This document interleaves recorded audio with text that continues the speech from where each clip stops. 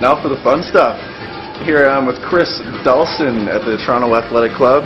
He's our head trainer at the CSC Ontario. I actually don't even I don't even know what your title is. What uh, what would you say you are? Physical preparation for the Canadian Sports Centres of Ontario and uh, Sport Lab manager.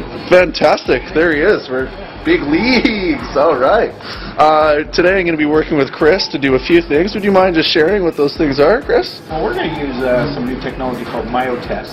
It's basically an accelerometer. Uh, fundamentally, in beach volleyball, jumping high is great.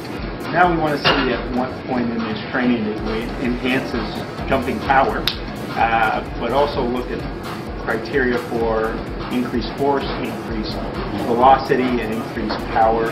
Um, looking qualities in his stiffness and his elasticity. Right on. So a whole profile of basically of a jumper or power athlete. Perfect.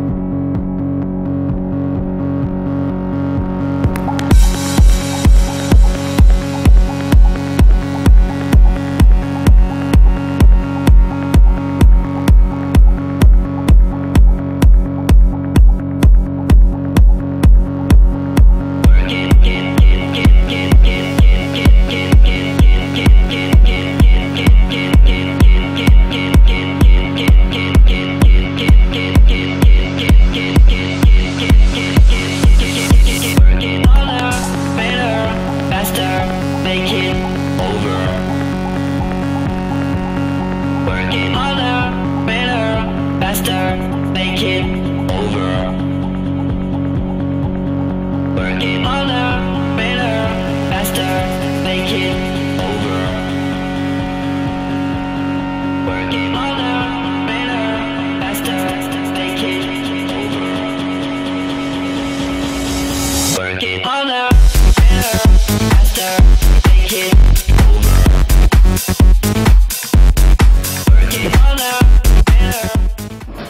Well, we did a nice little profile on Murdy's squat jump and his bench press profile. And we're now looking at not only how strong he is, the kind of force that he can apply, but how quickly he can apply that force. So we're now looking at speed strength or velocity of movement, and that's so important to the high-level sport that Murdy plays in. Uh, I'm going to put together a profile. We'll probably film that, and next time you see it, you'll see some numbers and some graphics. Perfect. Thanks very much. Yeah, right on. Thanks a lot, Chris. Okay. That was a lot of fun.